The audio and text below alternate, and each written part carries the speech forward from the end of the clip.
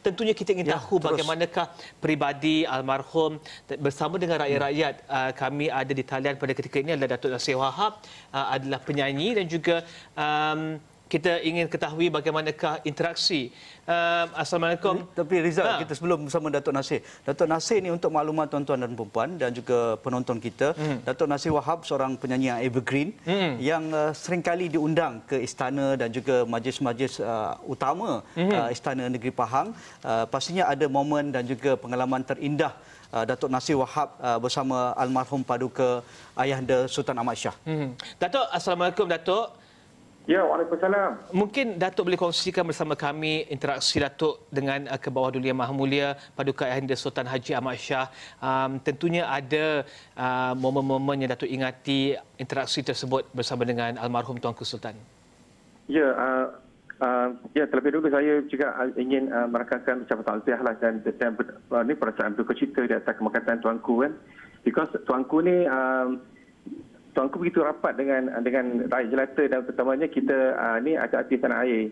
Dan saya ni uh, ber- bersyukur pada Allah kerana antara artis yang tuanku selalu jemput untuk buat sembahyang di majlis-majlis especially di istana uh, apa ni Abu Bakar di Pahang ataupun di Pekan, Pahang dan juga di Kuala Lumpur. Dan uh, tuanku ni memang suka berjenaka dan dia tuanku ni yang selalu kalau jumpa kita ni dia akan tanya apa khabar uh, apa kamu ni sihat ke dah makan ke? Jadi, tuanku very caring. Ya. setiap setiap kali jumpa kita ni uh, kita tak rasa macam apa ni perbezaan antara tuanku dan kita ni. Maknanya tu, tuanku re- really caring dan loving pada rakyat. Ya, bagi Datuk Nasir uh, apabila mendengar uh, kepergian ataupun kemangkatan almarhum paduka Ayahanda Sultan Ahmad Shah, uh, apa yang sentiasa dititipkan oleh almarhum paduka Ayahanda apabila berinteraksi dengan Datuk Nasir Wahab, ada uh, lagu-lagu istimewa yang seringkali diminta uh, didendangkan oleh Datuk, uh, Datuk Nasir apabila uh, majlis bersama almarhum paduka Ayahanda? Ya, uh, sebenarnya uh, dua tiga hari sebelum ni saya saya saya teringat tuanku. Ah, saya teringat tuanku saya fikir eh macam mana keadaan tuanku sekarang kan? Kita tak dengar khabar berita kan. Ya. Mana dua tiga hari yang lepas ni saya teringat tuanku. Jadi tak sangka bila pagi ni bila mendapat perkabaran berita tu agak terkejut jugalah. Sebab um, tuanku ni banyak lagu lah yang tuanku suka saya nyanyi. Umpamanya macam lagu uh, Cemburu, uh, Kisah Seorang Biduan, uh, di, uh, di Wajahmu Kulihat Bulan dan juga uh, lagu Brori Manatika apa ni biarkan bulan bicara sendiri. Jadi setiap kali function lagu tu uh, lagu yang wajib lah tuanku minta saya nyanyikan untuk tuanku dan untuk untuk apa ni tetamu di istana. Bagi Datuk Nasir, bagi komuniti artis, pastinya begitu dekat dengan uh, keluarga diraja Istana Negeri Pahang dan uh, begitu ramai yang mendapat pingat-pingat uh, penghormatan yang dianugerahkan oleh almarhum uh, Paduka Ayahanda Sultan Ahmad Shah sendiri. Jadi Ya. sebagai uh, golongan artis yang sentiasa uh, kata pun saban masa, saban hari menghiburkan rakyat jelata, uh, peminat-peminat termasuk golongan-golongan istana. Jadi bagaimana kata pun kaitan institusi di Raja Pahang dengan kelompok ataupun komuniti artis pada pandangan Datuk Nasir Wahab? Uh, bagi saya um, apa ni kerabat Raja Pahang ni itulah very down to earth and very low profile.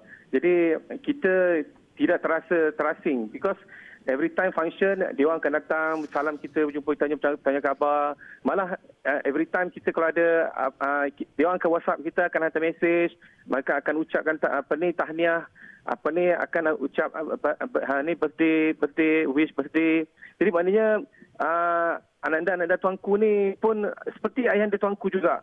Apa ni uh, tidak tidak ada gaps between uh, apa ni uh, di, um, uh, uh, kerabat dan juga dengan rakyat biasa. Jadi membuatkan kita ni rasa kasih kita pada uh, tuanku dan juga uh, keluarga deraja ni begitu dalam sekali Dan Datuk tentunya uh, penghormatan untuk uh, tentunya penghormatan untuk uh, Datuk mempersembahkan lagu di hadapan uh, almarhum uh, Paduka Ayahanda dan juga ahli keluarga diraja ini tentunya memberikan pengiktirafan kepada muzik yang Datuk bawakan dan juga lagu-lagu yang mungkin jarang berkumandang pada ketika ini yang Datuk bawakan. Bagaimana Datuk melihat hubungan antara keluarga diraja tersebut dan juga uh, kelangsungan seni uh, nyanyian uh, Melayu di negara ini?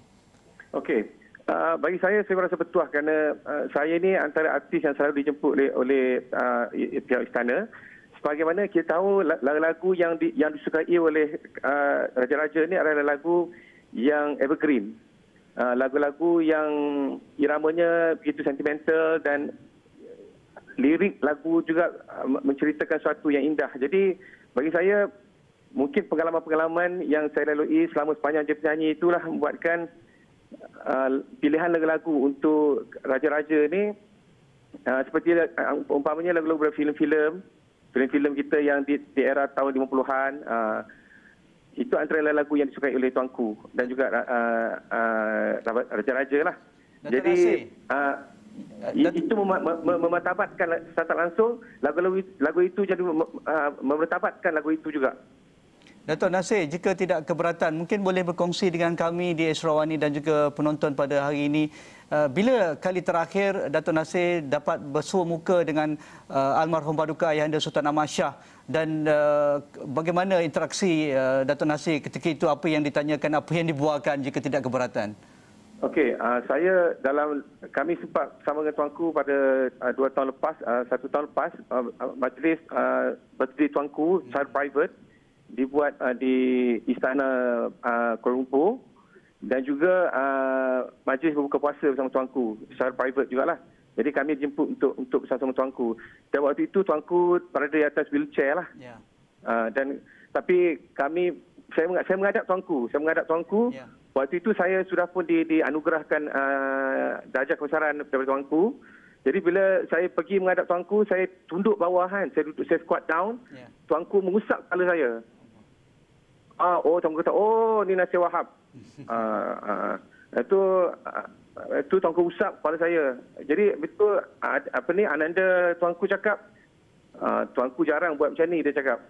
Ah, so, saya rasa very touching, you know, yeah. really touch, you know, because, you know, tuanku berang, uh, beranggapan kita seperti anak tuanku tau. Kita anggap tuanku tu seperti ayahanda kita tau tak?